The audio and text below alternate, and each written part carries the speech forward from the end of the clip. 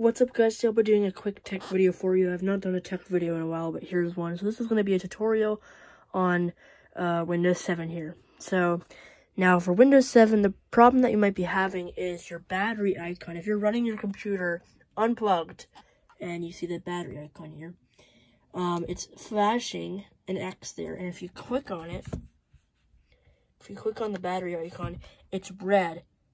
And it's basically telling you that you need to plug it in. Now I'll be showing you how to fix this. And here I'll, I'll try to I'll show you how to make it uh, be normal again, um, like it was before, uh, where it doesn't flash. So what you're gonna do is if this problem is happening to you, you're gonna go to the battery icon and click on it, and then type on more or click on more power options here, and then you're going to want to go to balanced here and click on change plan settings. All right? And once you're in there, you're going to go to change advanced power settings. And this little window will pop up here. And then you're just going to want to scroll down until you see battery. And you're going to go to critical battery. Right now. You're going to go to low battery level. And you're going to go change on battery to be 10%. So we go here, 10. Okay. That has to be 10 right there.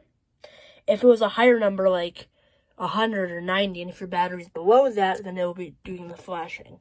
Uh, and then go to critical battery just to check if this is at 100 or any number that's high. Um, oh yeah, also ignore this, just hit yes. And if this is at 100 or any number that you don't want, just turn it down to 10.